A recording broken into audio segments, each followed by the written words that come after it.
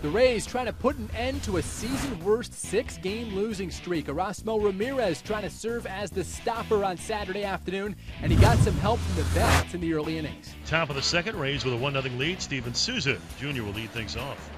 There's a swing and a drive, hit well in the air towards right. Back to his left, Delmon Young looking up at the wall, and this one is gone. Home run!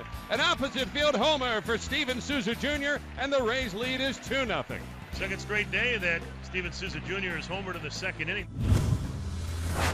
Here's the first pitch to Joey Butler, lifted to right and deep. Delmon Young going back.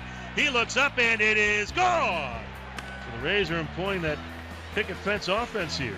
A run an inning for the Rays so far, and they have to like that trend. The Rays are now a game under 500 for the first time since April the 22nd.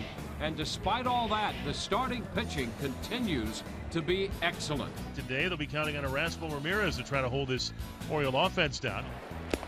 And a cut to miss. Davis is out on strikes. A couple of strikeouts back to back here on a Ramirez fastball. And a cut and a miss. Delmon Young out on strikes as Erasmo Ramirez strikes out the side. A couple of fastballs and then the changeup to get Young. Now you hope that Erasmo Ramirez can knuckle down and keep that runner from scoring. It's the first time the Orioles have had a man in scoring position in this game. And a base hit into left. It'll be charged by Butler. Runner's going to try to score. Throw to the plate. Got to play. He is out at the plate. Rays cut down the potential first run for Baltimore. Joey Butler to Rivera to cut down Clevenger at the plate.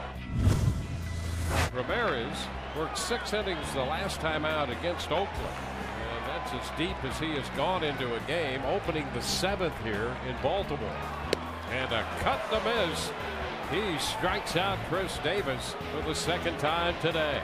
Well, he's just been in attack mode all afternoon, so efficient. Tampa Bay does go on to snap their six game losing streak. Ramirez grabs his third win of the season. He goes seven innings, just three hits, strikes out seven batters, and it was Ramirez's longest outing since July of 2014. Rays starters have not allowed a run in their last 25 and a third innings. They shut out the Orioles for the third time this season.